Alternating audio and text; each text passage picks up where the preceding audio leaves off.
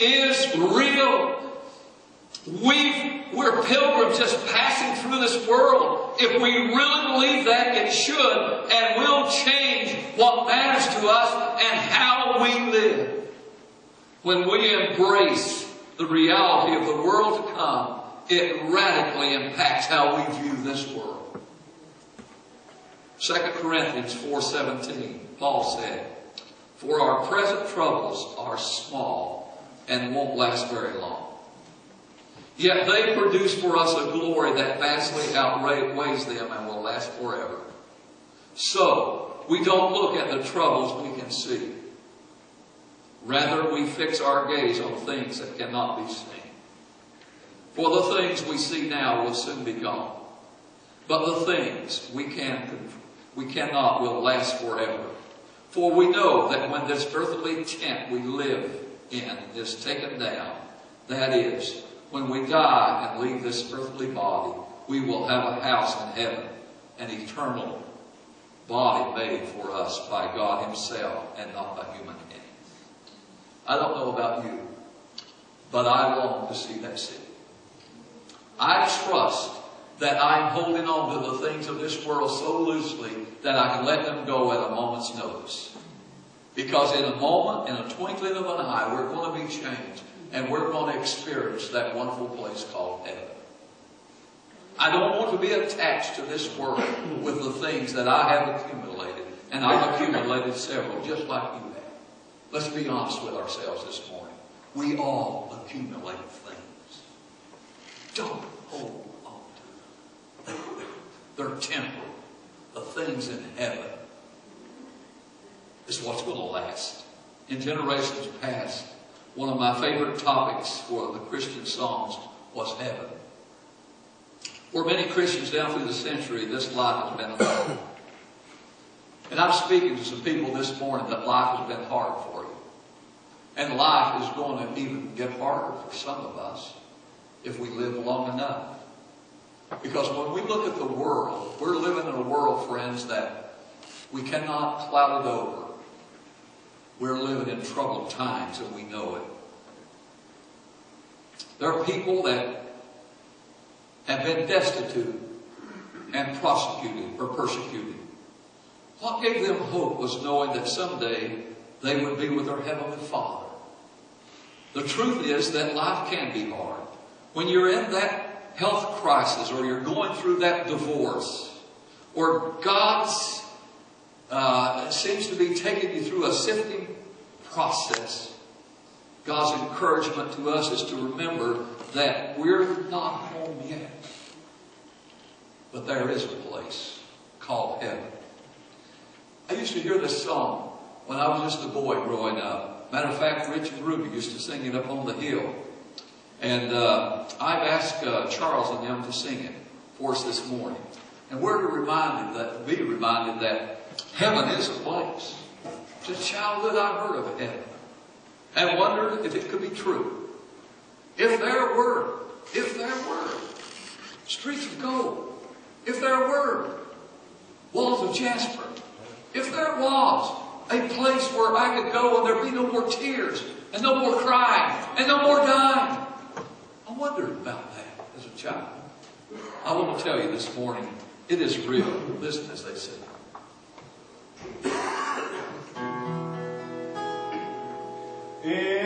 In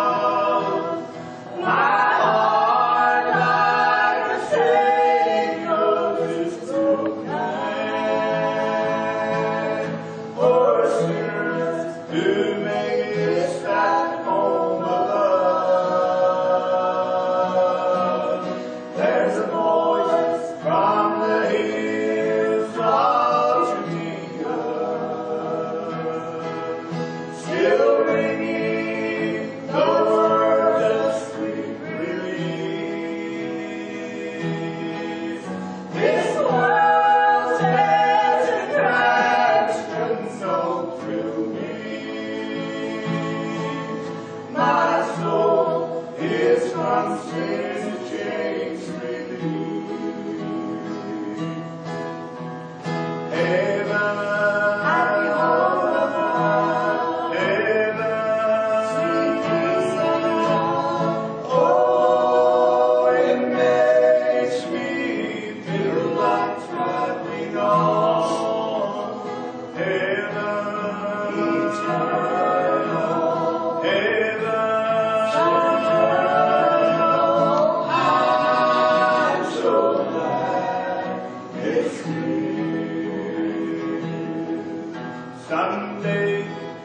the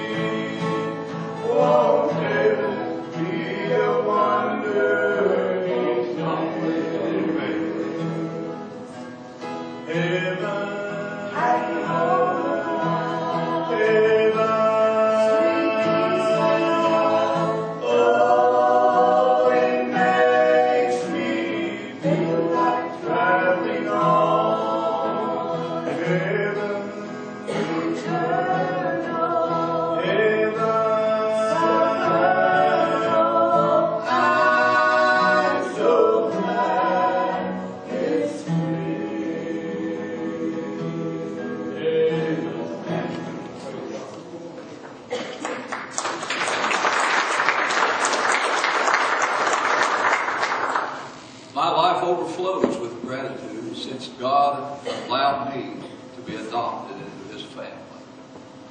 And I'm going to go to that place called heaven. I don't deserve His grace, and neither do you. And yet, this great Creator who holds the stars in His hands and, the, and rules the universe accepts me. And He accepts you. Aren't you glad? I don't really want to leave here today without settling the fact that you know that you're going to heaven. Listen to the words of Hebrews 9:27. And just as each person is destined to die once, and after that comes the judgment. As we said before, life is short.